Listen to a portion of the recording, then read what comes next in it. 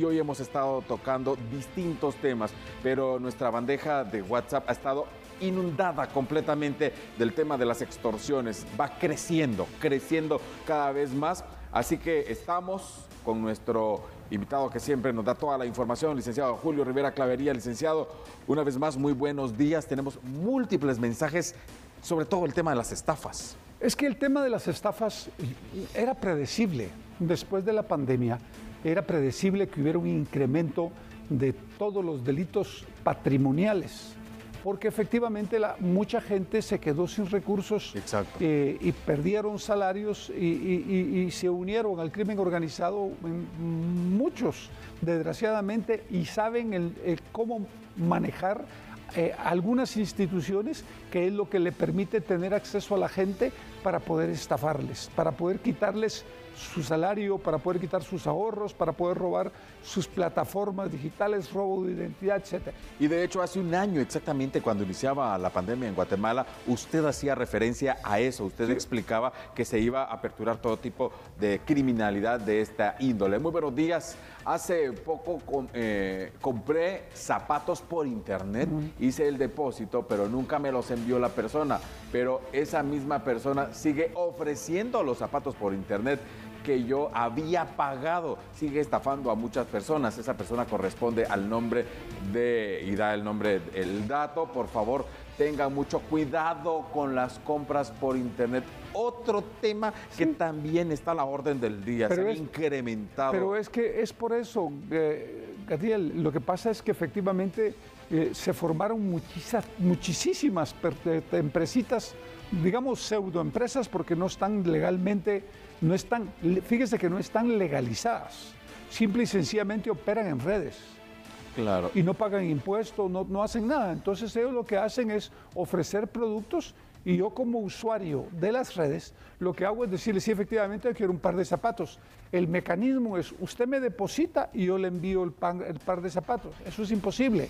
alguien que ni conoce le va a depositar. Sí, ¿cómo le voy a depositar yo a Perico de los Palotes en las redes? No se puede, porque yo sé que me van a robar. Entonces, ¿cuál es la mecánica?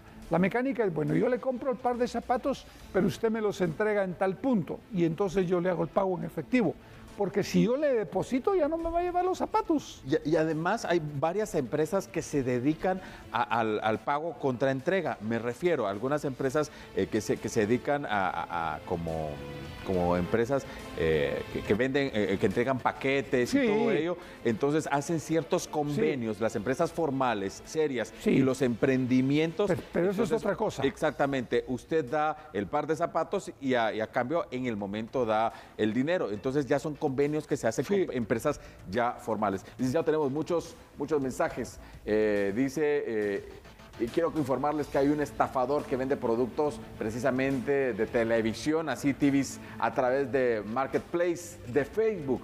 Una persona fue estafada y me dio la información y precisamente en estos momentos estoy en conversación con él. Me dio un nombre falso y, llevo ya días conversando con él para sacarle más información. Me dice que es de la ciudad capital. Por, la, por necesidad vende la televisión. Ahora ya tengo su número de cuenta donde quiere que le haga previo depósito antes de enviar el producto. Si alguien pudiera apoyar en cómo ubicarlo, detenerlo o tal vez capturarlo debido a que ha estafado a varios. Eh, lo agradecerán pues muchas personas. Hay que poner la denuncia en el Ministerio Público y que el Ministerio Público comience a hacer la investigación. Esto no es tan simple. Es decir, no, no, se trata de que yo ponga una denuncia y lo van a capturar. No, es un proceso de investigación. Hay un proceso de investigación criminal. Pero hay que ser muy cuidadosos. Yo he visto otras estafas en donde, por ejemplo, yo le pido a, a alguno de ustedes que me vendan una televisión. Fíjense pues entonces, usted me lleva la televisión a mi casa, pero yo le recibo la televisión, me la entro a mi casa en un condominio y le digo que después que le voy a ir a sacar el dinero, ya no le saco el dinero. E-, es la estafa. Es Ahora, un, es un hurto. Totalmente. Es un hurto, pero es, es, una estafa y, y, como resultado final se da un hurto. Pero lo importante acá es que la gente tiene que ser muy cuidadosa ustedes no pueden confiar en nadie. Yo se los he dicho, hoy La gente anda detrás del dinero, desgraciadamente, por unos por necesidad y otros porque forman parte de estructuras criminales. Distintas estructuras criminales.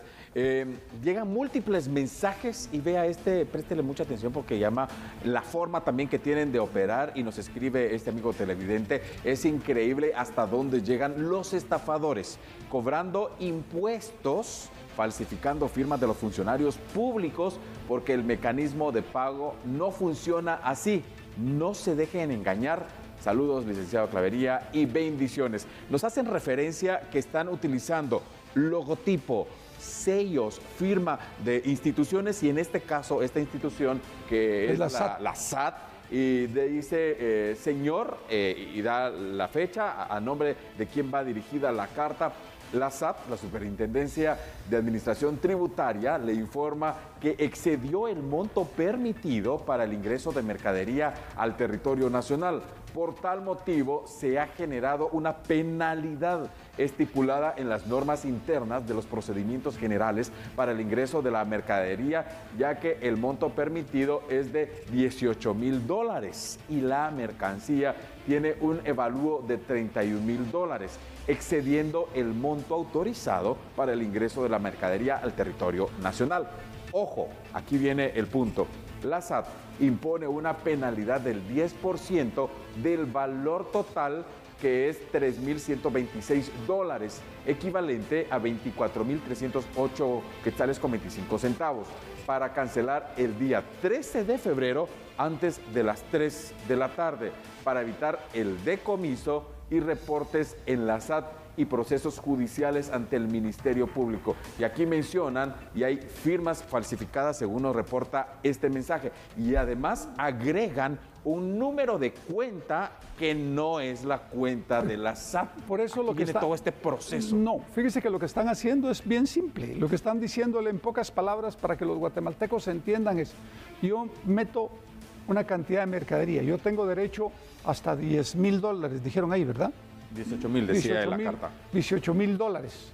Eh, si me excedo de los 18 mil dólares, la, SAT me impone una penalidad, o sea, me tienen que hacer un ajuste, porque son impuestos. Claro. Pero eh, ese ajuste que es del 10%, que equivale a 24 mil quetzales, en lugar de que vaya para la SAT, va a mi cuenta.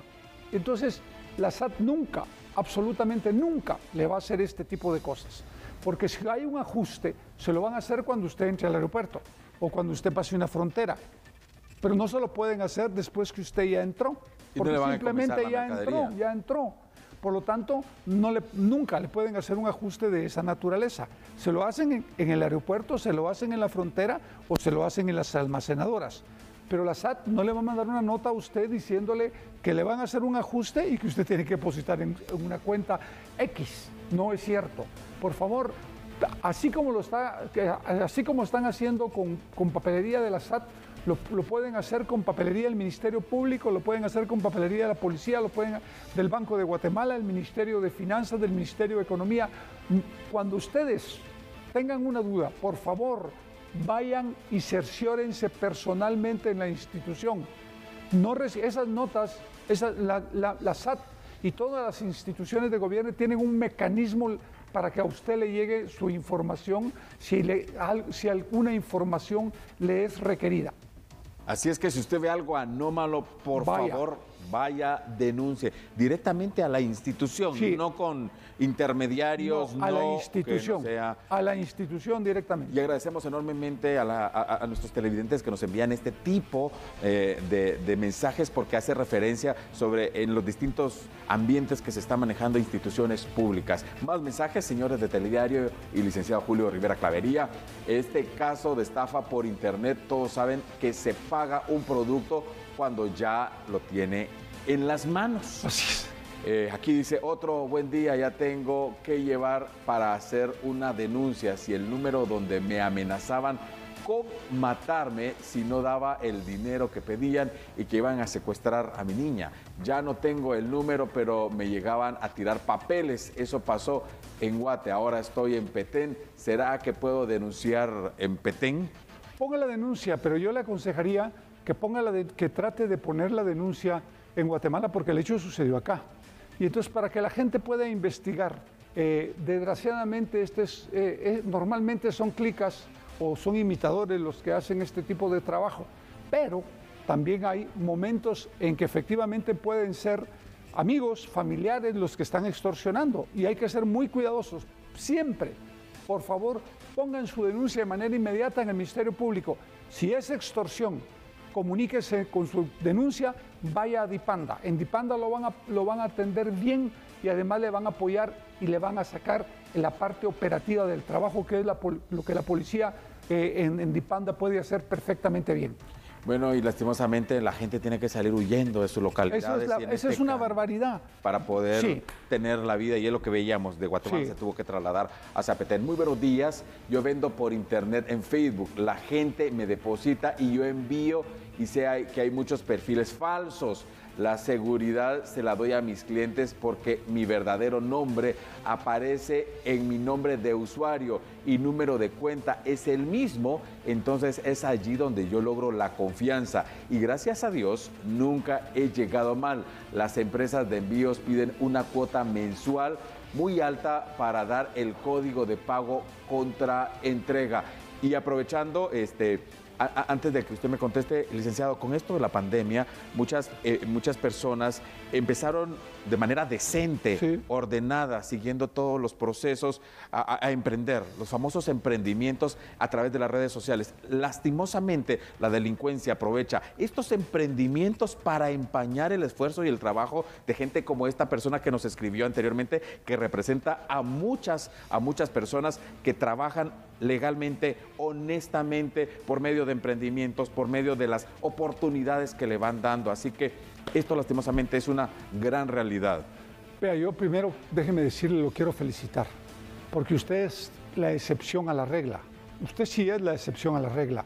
La gran mayoría, hay mucha gente que se dedica desgraciadamente a través de las redes a estafar y por eso es que se generaliza pero qué bueno que hayan emprendedores y trabajadores y empresarios como usted que hacen un trabajo legal y que hacen un trabajo honesto y que le entregan el producto a quien se lo compra porque eso no es la generalidad. Yo sé de muchas estafas y desgraciadamente eh, en, algunos casos justos pagan por pecadores, pero desde luego yo lo felicito y siga adelante, porque gente como usted es la que necesitamos en el país y gente como usted es la que se necesita en las redes sociales para que los guatemaltecos tengamos confianza en los pequeños y en los microempresarios. Licenciado Julio Rivera Calavería, tenemos muchísimos, muchísimos mensajes, trataremos de leer rápidamente lo más que sea posible. Hola, buen día, quiero contar contarles que hace un tiempo atrás yo recibí una llamada diciendo que era ganadora de una moto y 10 mil quetzales. Yo rechacé la llamada y el hombre era tan insistente,